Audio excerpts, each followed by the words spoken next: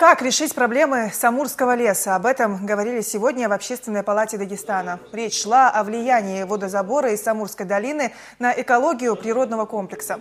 Вопрос давней истории. Напомню, что водовод строится для снабжения Дербента и соседних сел. Однако местные жители считают, что строительство может привести к опустыниванию Самурской долины и вымиранию реликтового леса.